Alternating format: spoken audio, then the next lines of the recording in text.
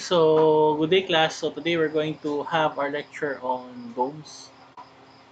Okay, so I think domes are interesting topic uh, in alternative construction systems because you uh, you would barely encounter uh, throughout your uh, career that uh, there's a requirement for a dome. Okay, so I think that's um, what makes it interesting and and also some of our books in uh, history has featured a lot of classical designs uh, using domes. Okay so let's uh, head on with our uh, lecture. So domes are prominent features of Persian, Roman, Byzantine, Islamic and Italian Renaissance design. So the Building Construction Handbook describes domes as double curvature shells which can be rotationally formed by any curved geometrical plane figure rotating about a central vertical axis. So in its simplest form, a dome is a hollow hemispherical structural element. Then domes evolved from arches so originally being adapted only to small buildings such as huts and tombs. Let me just uh, uh, volume a bit. Okay, so however, as construction and design techniques developed, uh, they became more popular as a means of showcasing grand structures such as cathedrals, legislative buildings, and more recently leisure buildings such as sports stadia. So domes became famous because they are self-supporting structures. So these are the elements of a dome class. Uh, first is the cupola. You have the coffers. Uh, may not be there in all. Then you have the lantern. Uh, I think not all their domes have this. You have the oculus. Okay, the, those who will remember your history of architecture. So you still remember you can find the oculus, the pendentive, the rotonda, the squinch, and the drum. Okay, so this is the drum. This is the dome, so the lantern. This is the pendentive. Okay, so the squinch arches. So a cupola class like like this one is a small structure located on top of a building's dome. It's a common for cupolas to have a round or square bases, but they may also be polygonal. Modern cupolas are mostly ornamental architectural features crowning the main roof, sometimes providing a position for a flag, religious symbol, weather vane, and so on. Okay. It's also a daylighting element. Okay, so here the lantern. So it would allow the light to get inside. Okay, so this is an oculus. So Latin means oculus or eye is a circular opening in the center of a dome. Okay, these are the coffers. So a coffer is a series of sunken panels the shape of a square, rectangle, or octagon in a ceiling, soffit, or vault. Structurally, it lightens the ceiling as less concrete or other materials are needed for its construction. Then we have here the pendentive. So a pendentive is a constructive device permitting the placing of a circular dome over a square room or an elliptical dome over a rectangular room. Okay, so these are examples of the pendentives. You can see here, this is the dome. A rotondami is any building with a circular ground plan and sometimes covered by a dome. Then you also have what you call a squinch. So a squinch is a wedge that fits on the top corners of a square space. So this is your oculus, this is the domes, the drum, pendentives, the dome on pendentives. This is a dome on squinches. The square is the domes, the drum, this is the squinch here. So Another is a drum. So a tholobate or drum is the upright part of a building on which a dome is raised. It is generally in the shape of a cylinder or polygonal prism. Okay. Here glass what you call a drum. So the materials for domes is that sometimes it made of it's made up of brick, concrete, metal, prefabricated sheets, or even bamboo also be made of timber. cast iron, or glass.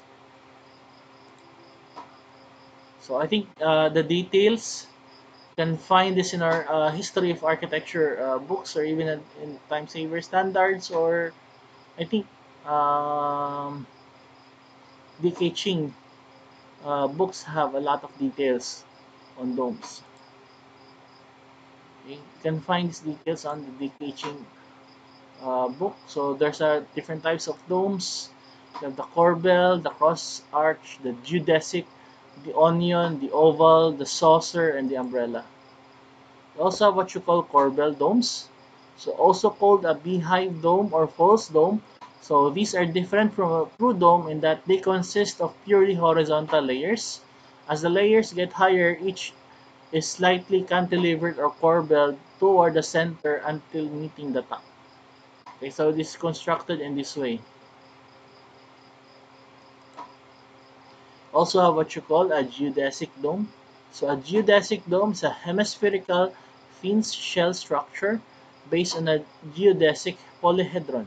So the triangular elements of the dome are structurally rigid and distribute the structural stress throughout the structure, making geodesic domes able to withstand very heavy loads for their size. So a geodesic dome supports itself without needing internal columns or interior load-bearing walls. This property makes such structures appealing for use as churches, sports arenas, and exhibition halls. So, geodesic domes are efficient structures in several ways. So, the triangle is a very stable shape. For example, a force applied to the corner of a rectangle can't deform it into a parallelogram, but the same force will not deform a triangle. This makes geodesic dome buildings highly resistant to such forces such as snow coverings, earthquakes, wind, and even tornadoes.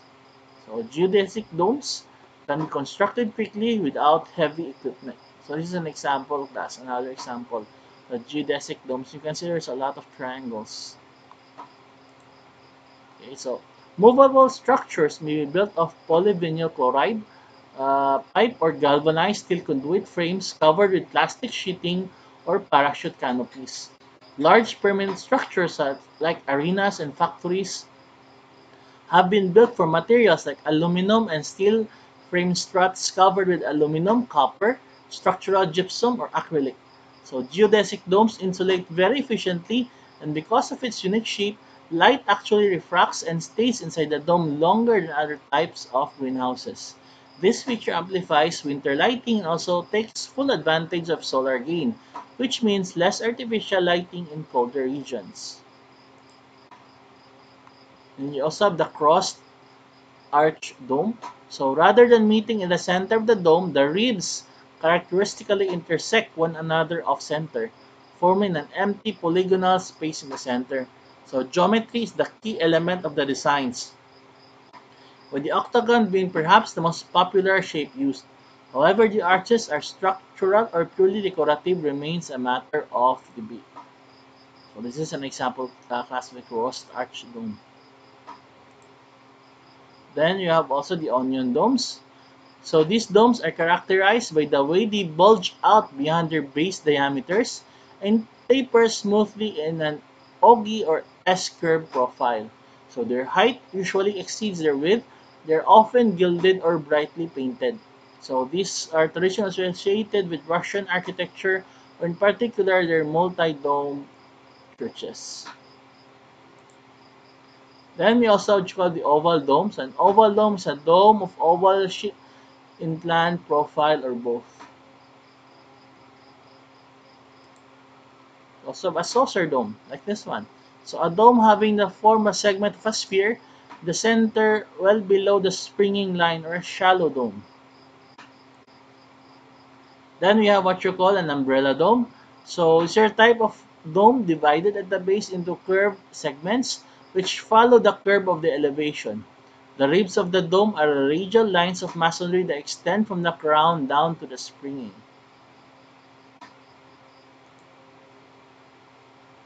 So these are the advantages and disadvantages. So the advantage of dome is that it's high on visual impact. In most cases, is both uh, strong and durable requires less maintenance, having a dome-shaped structure integrated with the foundation, the floor works to strengthen the entire structure as a unit and therefore makes the dome highly resistant to earthquake damage. A sphere encloses the greatest volume for the least surface area. The disadvantage is that it requires skilled labor. Then it requires more scaffolding, then it requires more material, so more volume. So it takes more time for heating and cooling. Okay, so I think it's an example of the world's largest dome. Okay, so thank you. Uh, okay, so this is the end of the PowerPoint uh, uh, for the different types of domes. We will continue class on the lecture and how domes are built. Okay, so just wait a sec. Okay, class, so let's continue our lecture with our uh, monolithic dome construction process.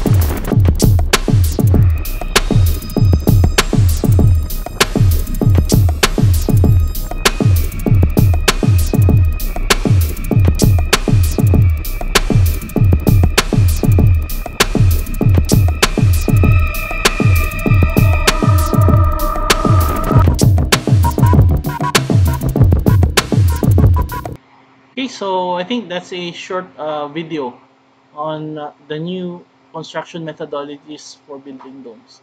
As you can see class, there is a lot of potential uh, the use of domes. I think because of its uh, uh, form itself, because it's more fluid and it's more organic, then you get to save a lot of space.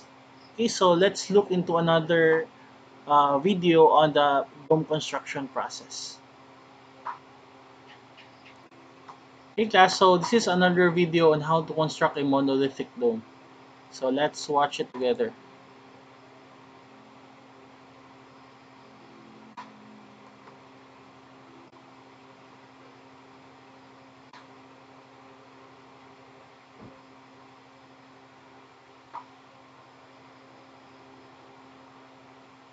Basically, uh, that field was the, the, the field in which they trained, uh, that, that field in Haiti. Um, they, uh, we had two guys come with us from Port-au-Prince who uh, um, definitely had a, wider skill set than uh, the guys um, down in. Um, there was some plasterers there, but not much else. I mean, you have to understand that when we arrived on the site, um, you know, um, we got together a crew of people to start working.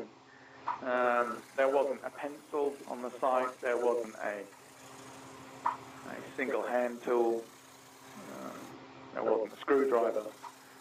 Uh, no one had uh, a knife. No one had uh, anything. Um, and so, um, even finding a compressor turned into a real nightmare. I passed on what little knowledge I'd gained um, to them, and they, being very uh, smart guys, figured out the best way to, to use it with a, with a bit of instruction, and set about putting a thin layer of um, essentially shotcrete on, on the outside of the airform. You know, I said to Nolan that we encountered many problems down there and many failures um, in equipment, and not one of them happened with his equipment that he sent me. So um, it's a sort of rare honour, really, that, that nothing that, that, you know, from mortar sprayer, you know, fails. Everything else fails because that's the nature of the beast down there. We were using a lot of cement in our mix because it's thin shell. Um, and I guess I can't quite remember how much water we were putting in, just enough to get it through uh, to mix it. We, we, we actually got hold of a, well, everything you buy in Haiti, the first breaks. Um, so obviously the first cement mixer we bought broke. And the second cement mixer, a brand new sort of $3,000 machine that we got in Port-au-Prince, you know, was mi- missing nuts and bolts. Um, because that's how it is and um, but we mixed it up in a cement mixer. Um, they could have mixed it by hand, but I wanted it to be a little bit more consistent a mix, so we bought a cement mixer. And they would um, put it into a wheelbarrow and run it round to where the guys with the uh, mortar sprayer were, and he would dunk it in the wheelbarrow and chuck it on the airform. Obviously, his equipment worked very well.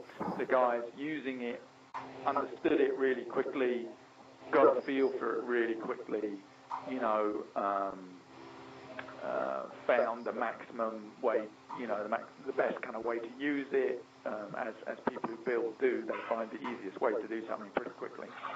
And, um, you know, I intend to use it on any eco shell building projects um, that I'm involved in.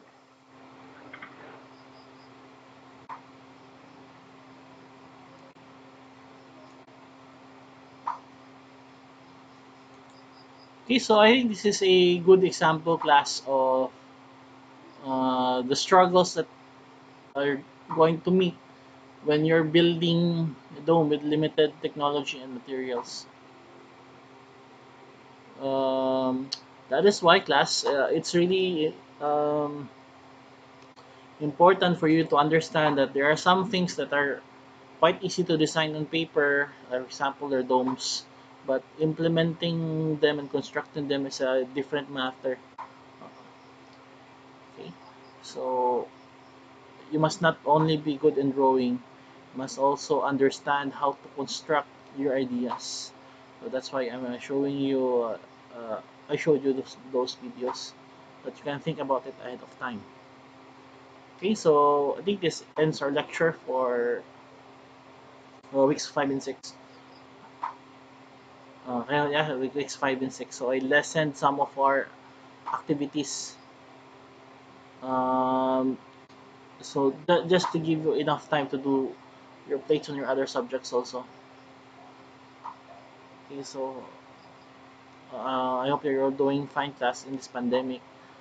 Then just keep on thinking pos- think positive. Then don't forget about your dreams of becoming an architect someday. So you're near the finish line already. A couple more years, you graduate. Then two more years of apprenticeship, become architects. Okay, so I hope uh, you're doing fine. See you next uh, uh, meeting. And if you have any further questions or clarifications, that's you can always reach me anytime, and we can always arrange a uh, synchronous meeting for any questions or concerns. Okay.